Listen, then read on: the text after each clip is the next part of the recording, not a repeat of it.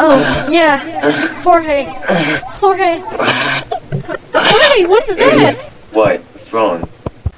I didn't know you had a vagina. I'm not lesbian. We can't be together anymore. It can still work out. That's disgusting, Jorge. You're gonna have to find yourself a boyfriend. I'm No, leaving. no, no, wait, wait, no, wait, wait.